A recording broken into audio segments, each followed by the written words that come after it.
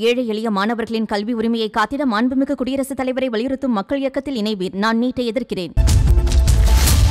தூதர்களின் பாதுகாப்பை உறுதி செய்தால் கனேடியர்களுக்கான விசா சேவையை மீண்டும் தொடங்க தயார் என ஜெய்சங்கர் தெரிவித்திருக்கிறார். கனடாவின் சீக்கிய தலைவரான ஹர்தீப் சிங் நிஜார் சுட்டு படுகொலை செய்யப்பட்ட நிலையில் கனடா இந்தியா இடையேயான உறவில் விரிசல் ஏற்பட்டது. இதைத் தொடர்ந்து கனடாவுக்கான இந்திய தூதர் திரும்பப் பெறப்பட்டார். இதற்கு பதிலடியாக இந்தியாவுக்கான கனடா தூதர் நாட்டை விட்டு வெளியேற்றப்பட்டார். மேலும் கனடா நாட்டு மக்களுக்கான விசா சேவையை இந்தியா தற்காலிகமாக நிறுத்தி வைத்துள்ளது.